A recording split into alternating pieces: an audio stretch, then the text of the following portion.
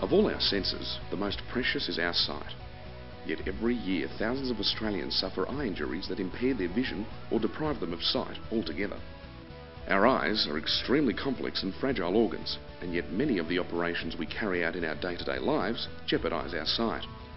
90% of all eye injuries can be prevented by following established safety guidelines and ensuring that you wear the appropriate protective eyewear. Among the most common eye hazards are flying particles, a hazard typical of many machine operations such as grinding, sawing, etching and welding. Airborne particles like sparks and splinters created by these operations can cause severe and painful eye damage. In addition, the dusts created by these operations can irritate the eyes and lead to impaired vision over time. Destructive light rays, common in welding operations and work using acetylene equipment, can cause painful eye burns unless your eyes are adequately protected. Exposure to EM radiation, like that given off computer monitors and television sets, as well as general eye strain from reading in poorly lit environments should be avoided. The following guidelines for on-the-job eye safety can help you save your sight for life. Be aware of eye hazards present at your worksite. The first step in avoiding danger is knowing it exists. Whatever the working environment, identifying potential hazards should be a priority. Because damage can occur from prolonged exposure, it's not always obvious that an operation or procedure can be potentially harmful.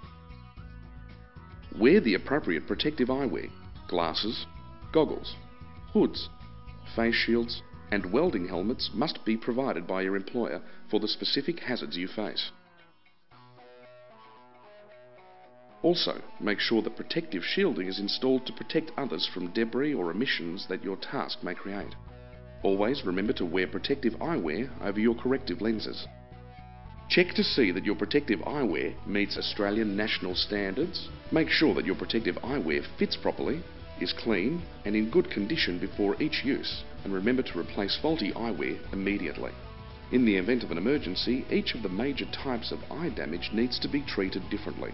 Of course, if an accident does occur, you should seek medical advice immediately. Make sure you know the location of your first aid and eye wash stations. For cuts or splinters in the eye, bandage the eye lightly. Do not attempt to remove the object in the eye or wash it out. You may be causing more damage. Be sure to use a damp eye patch and try to keep the person calm until a medical professional arrives. For chemical burns, tilt the person's head back and flush the eyes with water. Don't pour the water directly into the eyes, rather aim for the bridge of the nose. This should be done for at least 15 minutes or until professional medical assistance arrives. Damage from radiation occurs through prolonged exposure, so avoid exposure by wearing the appropriate eyewear and masks. Also, screen the area to protect others.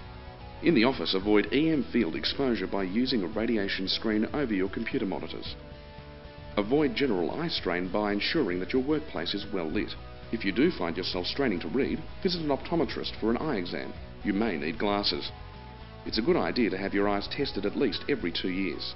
Unsafe work practices cost industry and taxpayers millions every year, but more importantly, there's an unquantifiable human cost. Damage or loss of eyesight due to avoidable accidents affects the victims and their families indefinitely. And it's not just at work that we can endanger our sight. Many of the chores we perform at home can be potentially dangerous and lead to avoidable accidents. Before undertaking any potentially dangerous activity, always ask yourself, is it worth the risk? We take for granted how precious our eyesight really is. For example, imagine not being able to enjoy the simple pleasures of a family outing, or watching your children grow.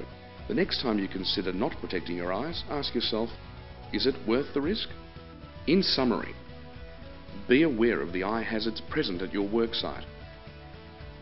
Know where all eye wash stations and emergency equipment is located.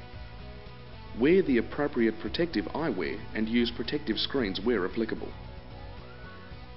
Check that your protective eyewear meets Australian national standards, fits and is in good condition before and after each use. Replace faulty eyewear immediately.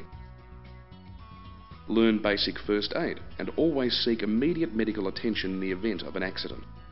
Your eyes are your window to the world. Stop for a moment and consider what life would be like without the use of your eyes. So take the time to ensure your workplace is safe and that you keep a keen eye for safety. Work or leisure, take the time to ensure that you have an ear for safety.